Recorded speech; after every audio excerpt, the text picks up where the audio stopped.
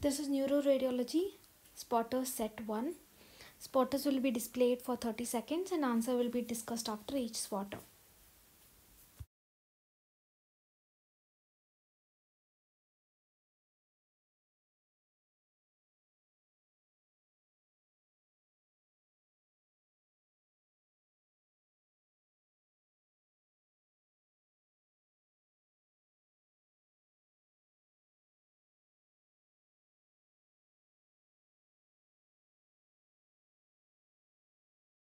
Spotter 1 Pott's puffy tumor. It's a complication of acute sinusitis. Usually, it presents as subperiosteal abscess and osteomyelitis commonly occurring in the frontal bone. So, it is frontal bone osteomyelitis in this case. Also, it can present as subcutaneous edema so here we can see this is the focal abscess. So it can be with or without swelling over the overlying scalp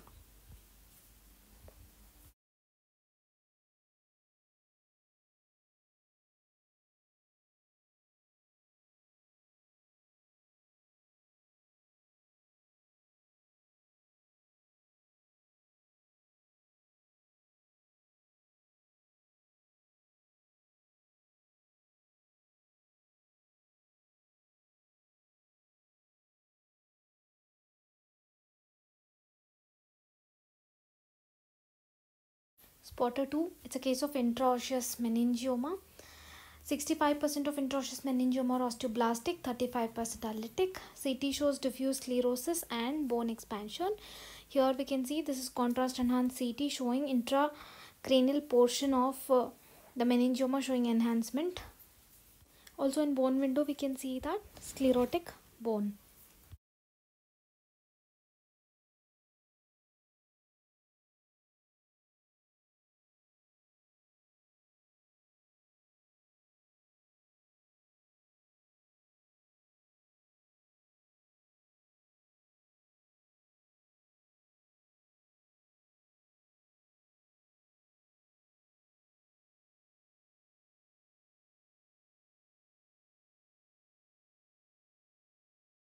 Spotter 3, an easy one. This is listen carefully So there is smooth brain surface without any gyral folds.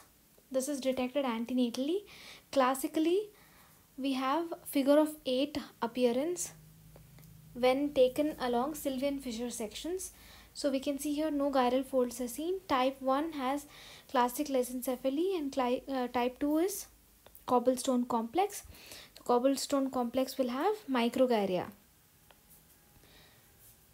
Type 1 will have figure of 8.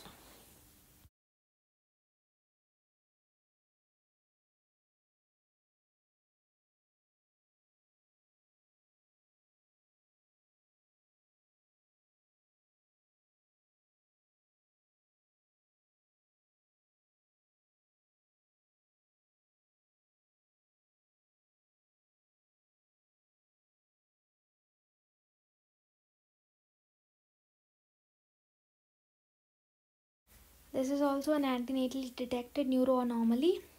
This is hydranencephaly with destruction of cerebral hemispheres. It is replaced by CSF filled sac with thin layer of uh, cerebrum which is along the skull. So multiple theories are there. It could be due to infarction leading to leukomalacia or diffuse hypoxic injury.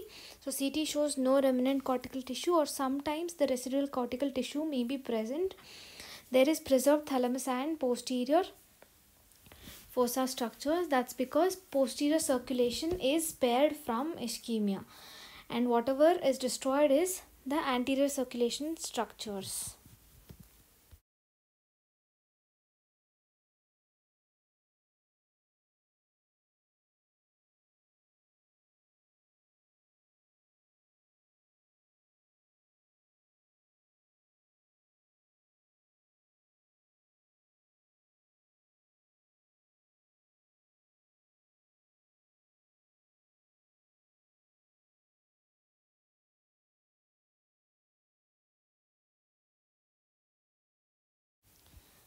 Spot of 5 holoprosencephaly case. Holoprosencephaly means incomplete separation of both the hemispheres, right and left. So there are three types that is a alobar, semilobar and lobar type. So here this is the lobar type where CT shows fusion of anterior frontal lobes and thalami are fused. Cingulate gyrus also may be fused. Other types we'll not discuss in detail.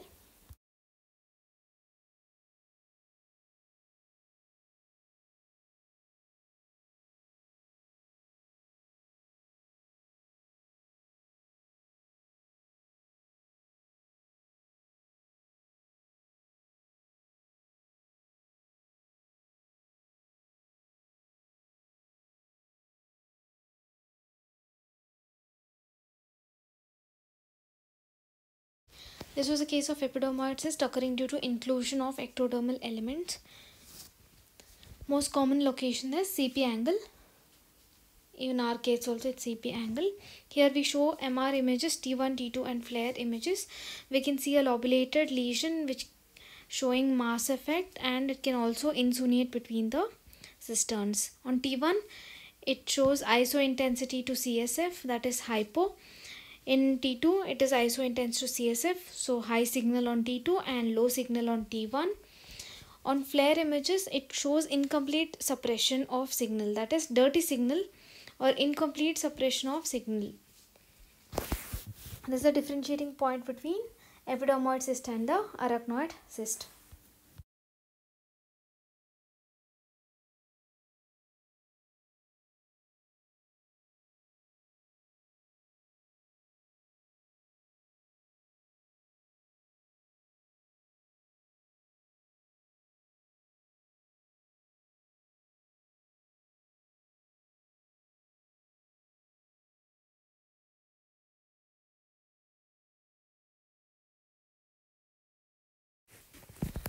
This is the case of uh, CP angle lipoma. So on MR it shows high signal. So this is T1 image where we can see subcutaneous fat showing high signal and CSF is uh, in basal cistern is showing low signal. So this is a T1 weighted image. So similar to the fat signal, the lesion also shows a hyperintense signal. So it is a fat attenuation lesion. On T2, it will show high signal again. So on fat saturation sequences, it shows signal suppression.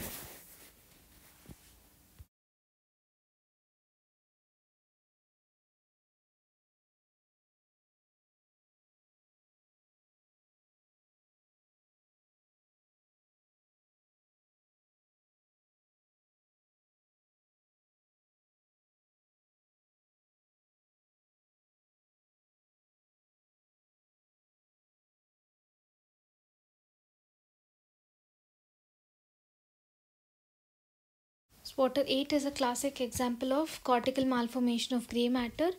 This is subependymal gray matter heterotopia also known as periventricular heterotopia. Here we can see ectopic location of gray matter. This is not where the gray matter usually is seen. So there are two types that is focal and diffuse. In focal we have unilateral focal or bilateral focal. Diffuse is of course bilateral. And these gray matter nodules will follow gray matter signal on all MRI sequences as the name suggests. It is gray matter heterotopia.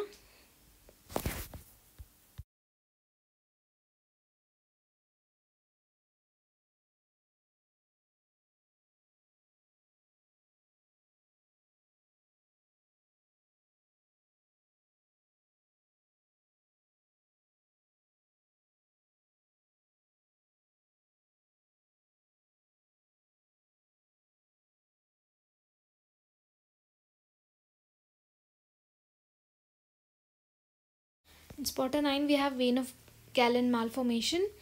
This is arteriovenous fistula of median prosencephalic vein which is a precursor of vein of Galen occurring at 6 to 11 weeks. So arteriovenous fistula, the vein is median prosencephalic vein and the arteries are the choroidal arteries. On MRI, this is a T2 uh, sequence image shown. This is the vein of Galen in black shown as flow void on MRI We can also see mass effect on aqueduct causing hydrocephalus as a complication. The other complication or the symptomatic complication is it causes high output cardiac failure for the patient because it's an arteriovenous fistula.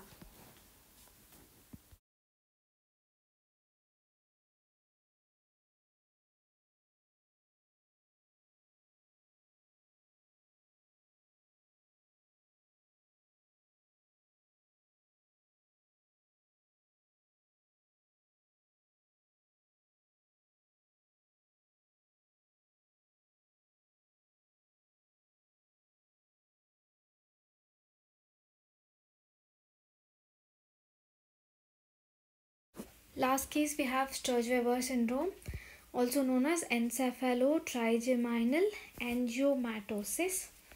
The name itself defines the syndrome. It is a triad of port wine nevus occurring in trigeminal nerve territory, usually on the face. Next we have ocular hemangioma. Also we have leptomeningeal hemangiomas.